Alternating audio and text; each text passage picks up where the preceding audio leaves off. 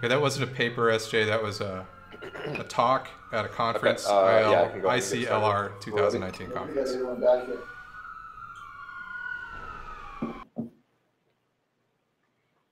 We're all here.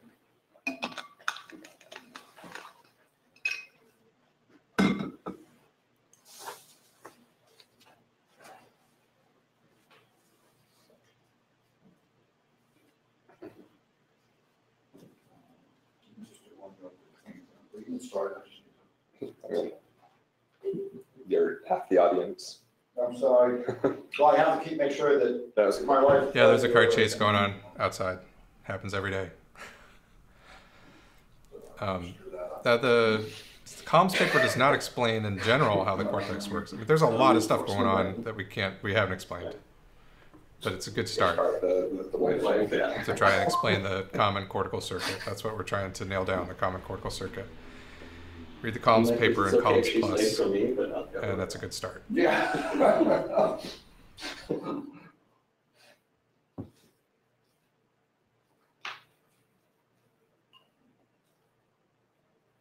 Great, okay, thanks. Okay, uh, so, yeah, I've been working on, um, this, the, a model for how, how head direction cells update in three D. Um, that's very much inspired by this paper, the dual axis rotation rule for updating head direction cell reference frames, um, by Hector Page, Jonathan Wilson, and Kate Jeffery. Um, Again, this is not a neural model per se, it's more of a conceptual model? Yeah, um, in the sense that like, if you think of head direction cells as a ring, uh, and such that there's a bump active somewhere in that ring at any point in time. As the animal performs a movement in, a- in any three D direction, what happens in that ring? Uh, and so I'm not worrying about modeling cells here, but you can imagine it as a bunch of little cells here and a bump of activity moving through them. But instead, I'm just treating it as like, where is the bump, or how, how is the bump moving? So that, that just assumes I have this one, uh, one-dimensional, um, uh, or set of orientation cells there. Um, but to represent the three D orientation, that's not sufficient. Right. Right, so you, so, so is this address the representation of three D orientation, or is it just saying, hey, how would this, this, these orientation cells change? Can we model that? three D orientation is represented by this and what direction is gravity? Yeah, so the Or, or question some is, other reference. but, but there was a question, how would I use that information? How would I, if I wanted to actually update my prediction based on three D orientation, I need to incorporate both of those. Mhm. Does this go into that direction and just, Well- no, I just have the information? But between you those need two? to know the head direction to do the correct. I understand, prediction. but, but, yeah. Uh, I'm just getting, I'm going back to sort of the, the bigger picture. If, if the goal of this is to say, given I have this information, can I, can I predict what I'm actually gonna see happen in these orientation cells? But the second part of the problem is, okay, now that I have that, how would I take that information plus the gravity vector to do something? You know, how would I literally, in the neurons, represent that and do something um, with? Yeah, yeah, I'm not doing that second part. I'm not consuming it, I'm generating All it. right, this is a model. How do we, how do we generate the behavior that's observed in these orientation cells? Yeah. Uh, in rats, what would be the model that, that exp- explains that? Yeah. Okay.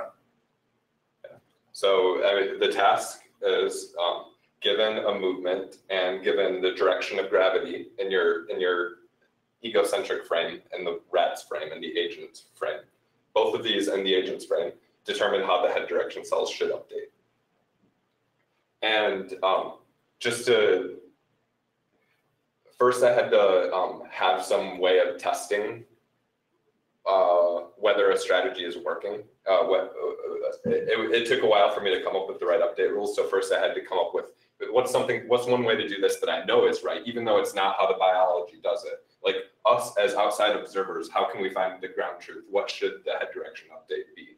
Um, so in their system, uh, like quick review is like um, rotation, yaw rotation, rotating on your current frame always causes the head direction cells to um, to update in, in your rotation direction. Um, and their second update rule in that paper is that as the current plane that you're standing on, like the rat walking on a on a hill or a sphere right here, as that rotates about the gravity direction, that should also cause this to up to update. So that's just a quick review. Uh, so given two 3D orientations, which you can depict as being on surfaces of a sphere while pointing in a certain direction. These are little rats. Uh, the way to, to, the, the way analytically us as outside observers to tell how the head direction should update from here to here. Um, one way to do that is split this movement into rather than rotating directly from here to here, um, split it into three movements where you first move directly into gravity. So gravity system vertical in this picture. Yeah. So, so rotate the, the current plane you're standing on directly toward gravity so that you're essentially standing on top of this orientation globe. That shouldn't, by the way, that movement should not change the orientation cells, right? Uh, Correct. Because you're not, you're not, you're not rotating around your own axis, so. Right, Yeah. Um, now perform a pure yaw rotation. Yeah, that does change it. Yep, and now rotate down uh, directly on your current plane down to the end point. Hey, Marcus, will you move your water bottle? Yeah. Thanks.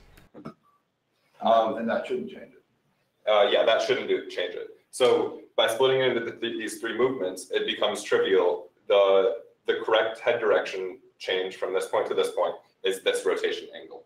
Mhm. So if you can just, sol- if you solve for all of this, you can find it analytically. And this was how I had a notion of correctness. Um, I'll go ahead and show So that's a purely mathematical Yeah. way of doing it, and- and you can, Yeah, now I'll, I'll, in a couple of minutes, I'll walk through.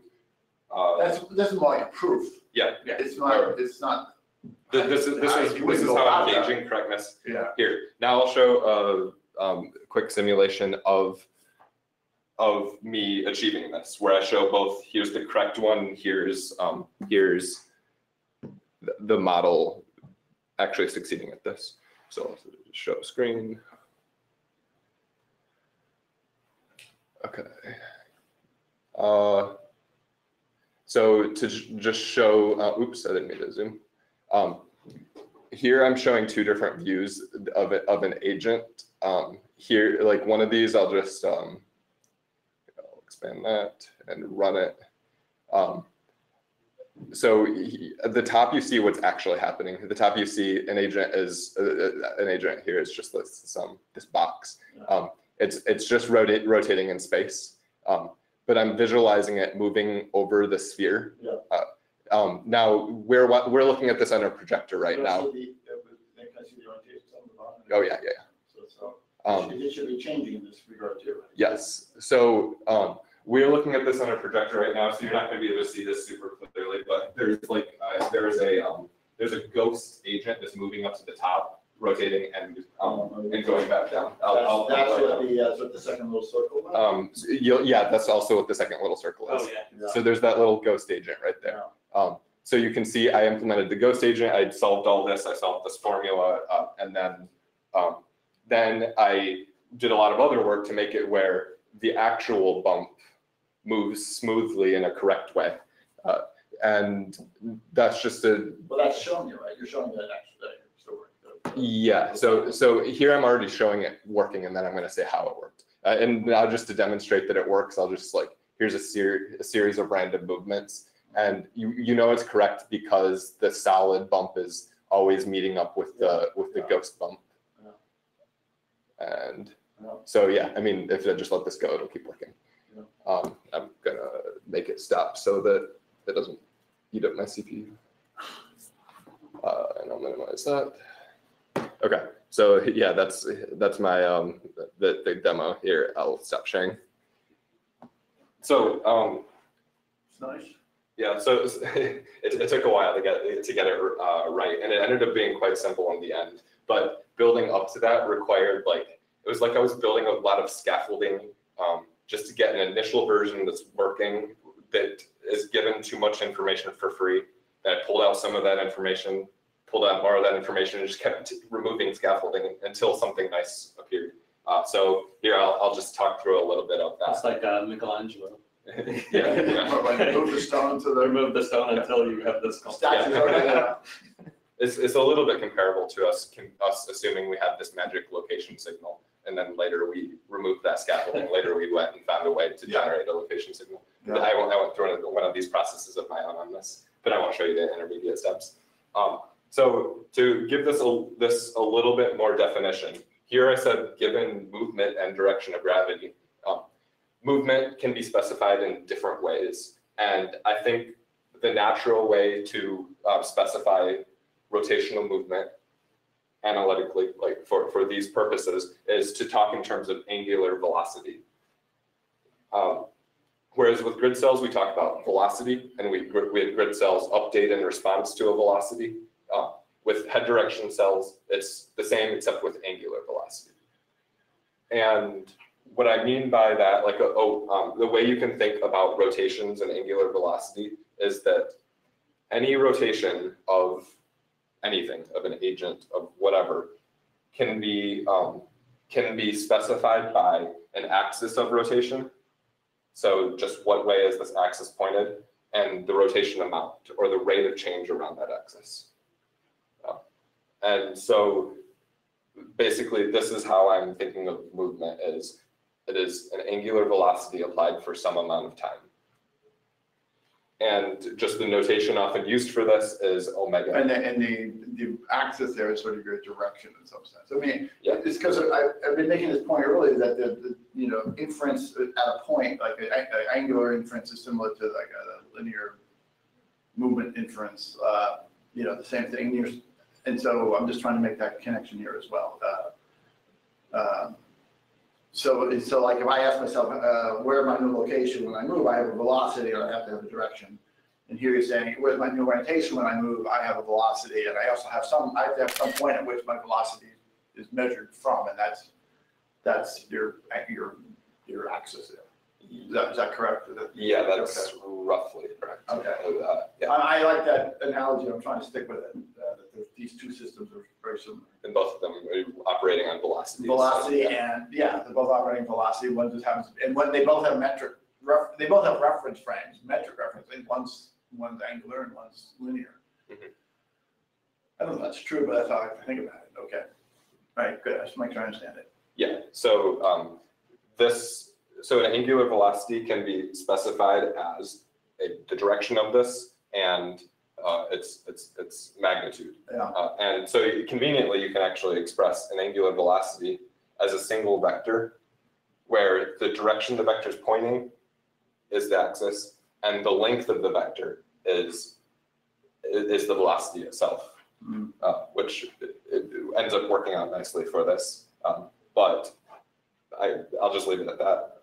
So now just to, just to restate the task in terms of these, this notation, given a movement and direction of gravity, given movement and direction of gravity, Yeah. uh, figure out what is the update to the, to the head direction cells. Um, So I tried a bunch of different ways of specifying this and um, finally, the way that worked was um, to now think of rotation. Now, I just laid out one way to think of angular velocity.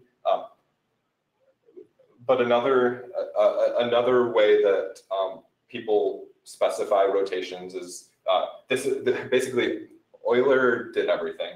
This is called the Euler axis, this is called Euler angles.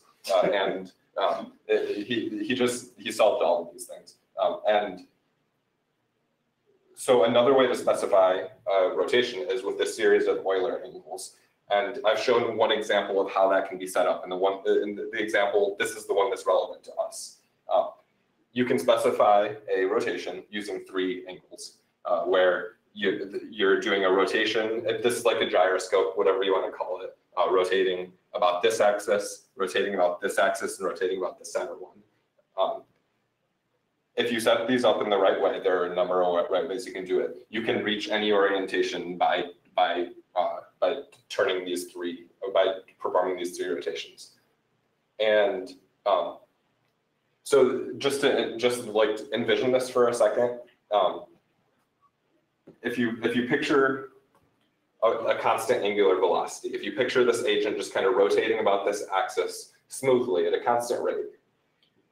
Uh, so now picture this agent doing the same thing. It, this is rotating smoothly at a constant rate.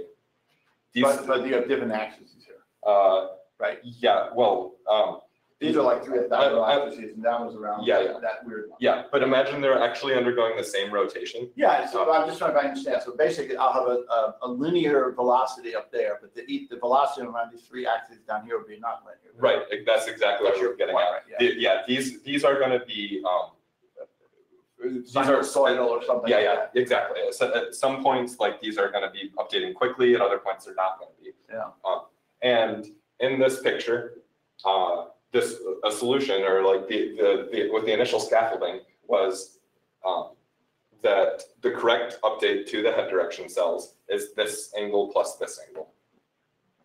Where the middle one is basically capturing yaw rotations. You say this angle plus this angle. Oh, yeah, this- Is it, is it mean literally how, how far around I go around the circle? Is it the sum of those angles? Or are you saying I should I should have said, velocity I should have said the change, the delta in this angle, and the delta of this angle. equal to the, the angular change in the, in that thing? Yeah, We're not yeah, talking, we're not that's talking velocities, we're just saying, if I, if I, this one changes ten degrees, that one changes twenty degrees, that one's gonna change thirty degrees? Is that- Yeah. Okay. Yeah, and like, and you, you can picture these quite easily. Because some of these will then be going negative and positive, Yeah, right? So yeah. then it doesn't always add. And you can picture these quite easily as like this middle one is basically yaw rotation, uh, like you're, you're Yeah, rotating. yeah. And this outside one is basically move, staying at a constant latitude on the globe, and moving around the globe. Uh, Yeah. So it, it So- intuitively Yeah. fits these two update rules. So basically, your, your change relative to the gravity vector is gonna be represented by two different angles. uh, And your change relative to your yaws, uh, and your change relative to your yaws. It's, it's, okay, you said the change relative to gravity. Well, the, gra- like, like, you're just going between different reference frames here, it seems like. So I'm, I'm, again, I'm, I'm not challenging, I'm just Sorry, checking that was my my fault. understanding. So as I move, if I think about just my change relative to my body's reference frame, the yaw, then it's just a simple angular change. But my, the change relative to the gravity vector is much more complex. Yes, exactly. So that's Yeah. gonna require at least two dimensions to specify that, and those are really, the two dimensions, they're. Yeah. Right? And, and one, one other nice thing here is, um, one thing awkward with these angles is that, um, is that for, for most cases, there is a, um, one-to-one mapping, like there's a one-to-one. Here, I'll just say it this way. Suppose you're standing on the North Pole, uh, and you rotate. Uh, Yeah. There's an ambiguity of here. Do you, do you represent that by rotating this or by rotating this? So, um, I, either can be correct. The thing I wanted to point out here is that ambiguity is solved by the fact that head direction cells represent the sum of them, Yeah. uh, such that that ambiguity So it disappears. doesn't matter. So that, that, there's a, there's something computationally elegant about representing the sum of these, is, is just what I'm saying. Um, so now getting from here, um, to like a final, um, simple formula took time. Uh, and I'm just gonna gloss over that. Um, so solving for how these are changing over time and then just like, and then just like pummeling those formulas into being simpler and simpler and simpler. Um, what popped out was this, uh, where the change in head direction is equal to, well, basically the yaw rotation, um, plus this formula that, um, that multiplies the, the rotation about other axes times the, the current gravity direction. Yeah. And uh, I, I, I wish you could see the pages of stuff that just simplified into this. Uh, but, but I'll, I'll say that. You can just, we'll, we'll visualize it in your head, okay? Yeah, so, um, I believe you. so- so, yeah, this is what pops up, um, you- and it- it's, it's kind of intuitive, it, it, um, okay, it's like, well, it's mostly intuitive. I haven't fully grasped, grasped this term of it yet, but think, think of it as a differential equation. It's like, what is the instantaneous change to the head direction cells is equal to the instantaneous change of the yaw, uh, So I guess what was confusing me is why is Z appearing on the right there as well? Uh, because it's, I- my, my first intuition would be, oh, well, if all I'm doing is changing. well, keep in mind, this is the gravity coordinate of Z. Oh, oh, oh, okay, so, uh, they're not the same. Yeah, the, the rotational velocity around Z is its own independent thing. Good. What I was thinking is, as I change, if I'm just changing my yaw, that W term changes, but everything else should stay the Yeah. same. Yeah. Right? Yeah, okay, well, it shouldn't be over there, okay, I got it, I'm sorry. Yeah. Okay. Um, and so, I mean, this, this popped out at nine PM last night, uh, and so. Oh, I go, it's good we waited. Yeah, like, like I, on Wed- Wednesday morning, I had this and I proved Uh-huh. that this worked, and so I knew that like I was on the right track, but getting to there took a while, so. Uh, now, oh, what was I gonna say? Uh, yeah, one thing that, well, one, one thing is like, okay, this all simplified, I, I went through this elaborate process of setting this up, and this popped up out. There's a chance that by just looking at this formula for a while, I'll realize, oh, here- here's a much simpler way I could have done it. And that will cause me to realize something, maybe I'm missing something obvious. Uh, so uh, I don't fully understand this, like one plus G sub Z on the, on the denominator, I don't know. Someone who's experienced with like mechanics might look at that and say like, oh, that's the dot product minus the cross yeah, product, or something like that, something really basic like that, but I, I don't have that right now. Um, so just to, um, bring this back to, um, I, I wrote this musing section, just a thought on this. Um, to bring this back to like the, the idea that grid, sort of unifying this with grid cells, thinking of them as performing two different things. You can set these up where, uh, this is basically the formula, formula we used in the grid cell paper with Mirko and Ila. Hey Falco, where, hi uh, like, everybody. With the change in phase is, is very basic. We're watching a live research meeting projection matrix times the at velocity. Numenta HQ. And here, um, and, and this is a two by for a two. grid, a single grid cell module. Yeah, for a single grid cell Yeah. module. For head direction cells, uh, it is another type of matrix times a velocity.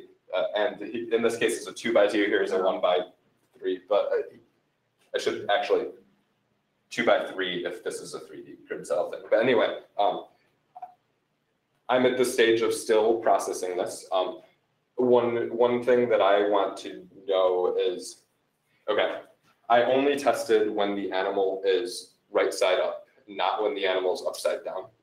Um, and it wasn't, and, and here's where, here's what's weird though. This formula should work when it's upside down. The only reason I haven't tested it is because I don't have a ground truth for upside down. I, I don't know what is correct. I don't know what the correct behavior is for upside down. Um, so one of my next steps is to, I want to know, Do you does think that's an this? important, do you think that's an important point? if this just magically s- works in all situations with orientation, like if the whole thing, if there, if there is no upside down problem, Yeah, then that would be nice to know. okay. Uh, and So so, you're walking to the assumption there seems to be an upside down problem, which is what was in that paper, Yeah. right? So, Yeah. uh, you're saying, hey, well, is it really a problem? Maybe we can solve it. type of uh, yeah. So basically, it, I I feel like I'm, uh, from yesterday afternoon Yeah, by until, the way, just imagining myself being a rat upside down on this sphere. Um, it's not clear that I solved that problem. Yeah. You know, there are situations where you just, the world doesn't make much sense and Yeah. that could be one of them. Yeah. So it's not clear we actually do solve that problem. Yeah. Uh, I just, uh, yeah, I just want to see if, if, Okay. if a solution does just naturally fall out, then that's good to know, but it might not, and I want to understand why if not. Um, Yeah, So basically from like, you know, last, last night at six P M until right now, I feel like I've been, um, grabbing more and more low hanging fruit because this all clicked into place and this all simplified. And, um, so I, you're catching me like a snapshot of me while I'm still grasping at the fruit. Yeah. Now, now that I've poured a bunch of time into reaching this and then simplifying it into that. yeah. What are those musings? Oh, yeah, that, that was where I talked about like, um. Just uh, like the parallels between the grid cell update rules and the. Yeah. Yeah, so in both, in, in both cases, grid cells, head direction cells, we're applying some sort of projection matrix to the velocity. Uh, and, I mean, this is just the, um, th- this is just the thing from the the paper with Mirko and Ila, where, um, it's n by, or two by n, two, two by three, for example, if it's three D. The idea that you're applying some sort of matrix to a velocity to getting, to get an update. Uh, I'm just trying to put these next to each other and see if any, any, anything comes to mind. I still don't fully understand this projection matrix. But it's, it's what popped out and it's what worked in this, in the simulations. Um, so that's pretty much what I had. That's nice. Oh, that, that's what you would multiply W by two. Yeah, that, that's, Yeah, that- that, I took, I took that and pulled Yeah. out, yeah, exactly. Um, let's see. Tend to personal problems here, not problems, but my wife's about to take off. so. Um, Okay.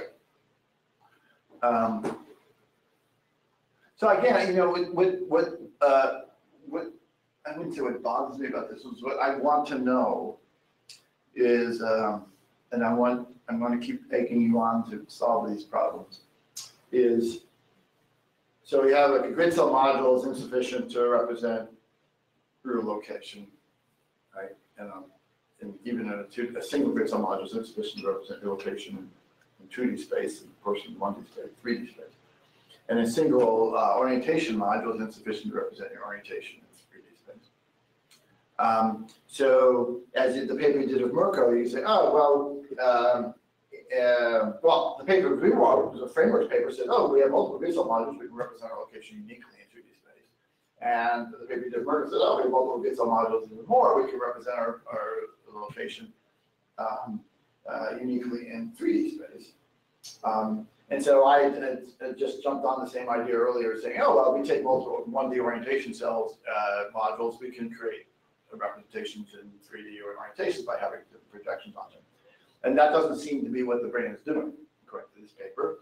And, um, and, and there's evidence suggesting that we don't really have multiple, um, orientation modules that, that are updating differently, and there's no, and we actually don't seem to have any evidence that there's multiple grid cell modules that are updating differently, that have different projections in 3D space.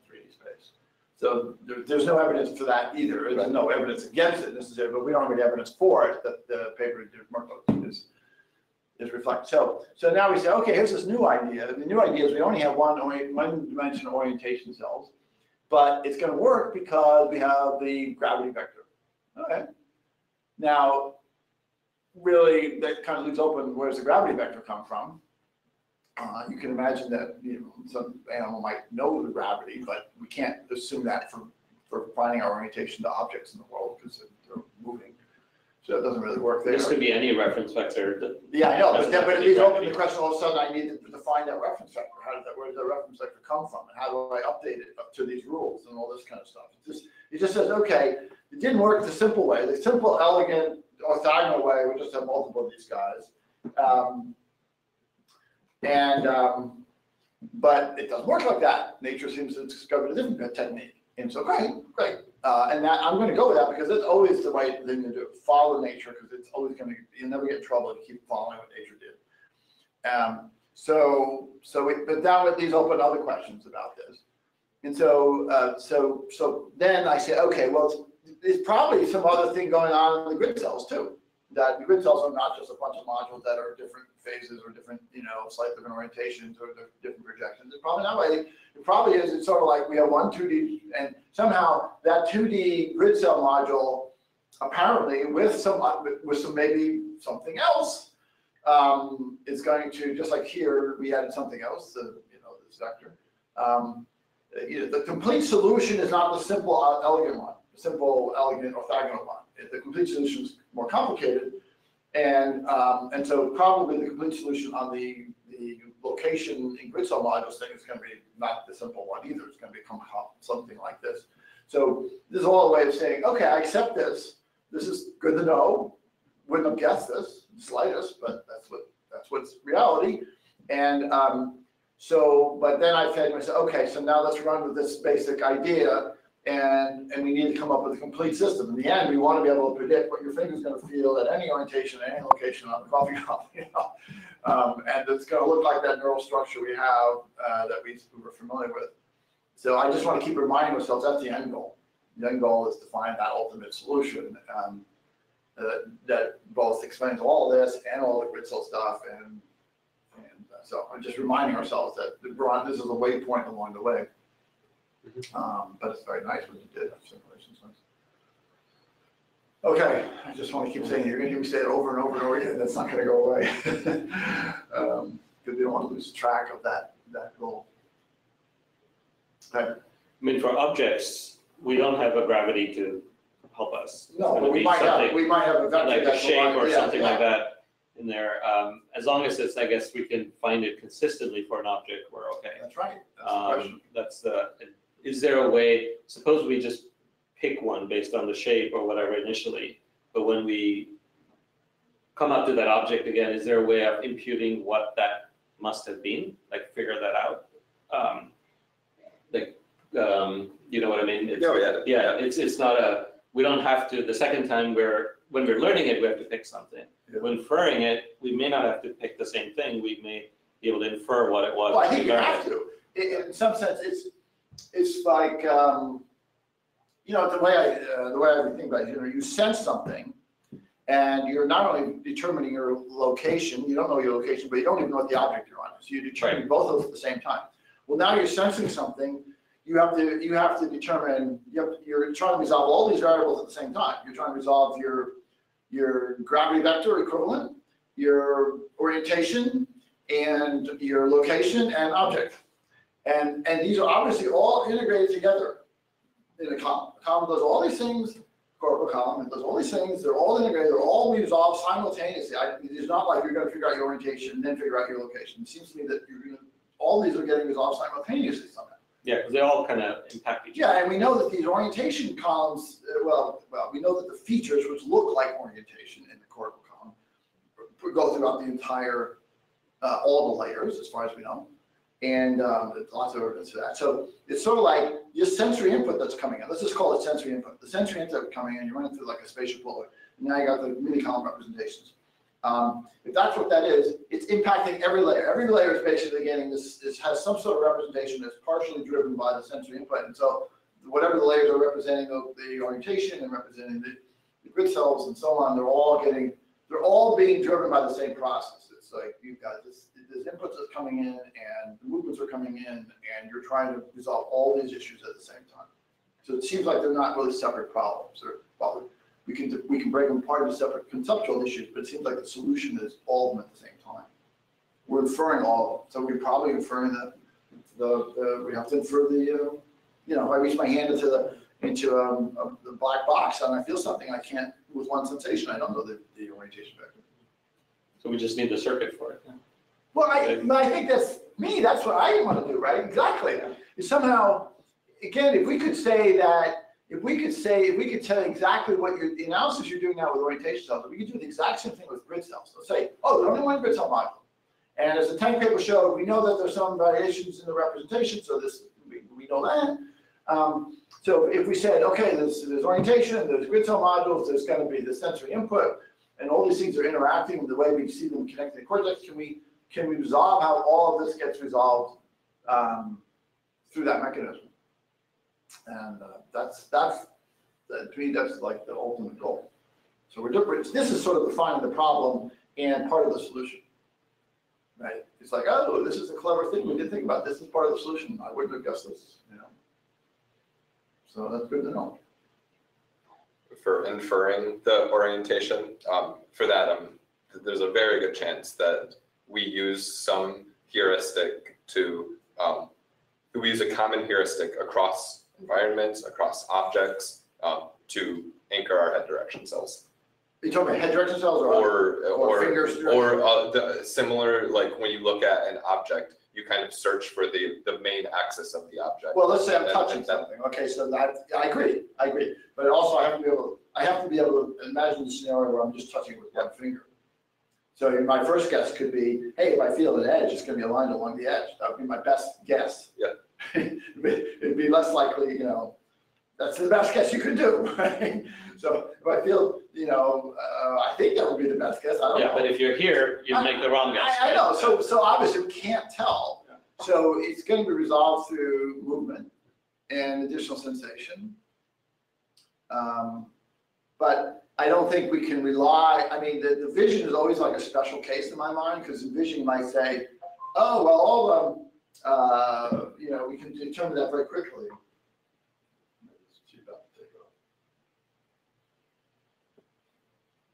Um, But, you know, I don't want to rely on the fact, oh, I have this, I envision I might be able to just sort of take a big picture and some cells extract it. The system has to work too with just the finger. Yeah. Yeah. The thing I said about heuris- the heuristic for anchoring head direction cells is also a Kate Jeffery paper. I mean, not, not the same one, but, uh, that, they had nice results that showed that in different environments that are the same shape, grid cells anchor, um, differently, but head direction cells anchor the same, essentially. That's the most succinct way I could say it. Mhm. Uh, so like a black room and a white room, uh, the head direction cells, well, head direction cells anchor the same way in both rooms, but grid cells translate. Yeah.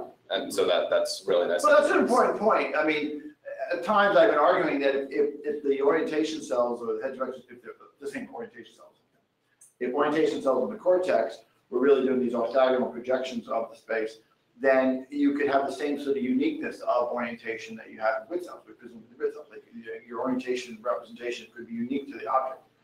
Um, uh, but that implies not. If, if, uh, if the orient, you're saying it doesn't matter, in different rooms, as long as they have the same uh, the basic shape, so the grid cell seeding is different. Yeah. And the, or in the head direction cell seeding is the same. Yeah. So that was, that's, that's a big clue. Yeah, and it's been replicated, the recent one from, uh, Kiah Hardcastle, Yeah. San, uh, yeah, it's been replicated. So And then we that's get back to when we were, when we were talking. And Will Butler. Uh, we were talking a few weeks ago about, you know, what, if, if this, if the input's gonna be projected, uh, predicted in layer four in the cortex, well, what is the inputs that require, you know, what, what is, what information, uh, must be represented in layer six A, and so, uh, this impacts that. It means if I were to say, okay, I have to have an orientation representation that's independent of the object, you end up with a different sort of circuit model than if you had, uh, orientation was scenic to the, uh, specific to the object.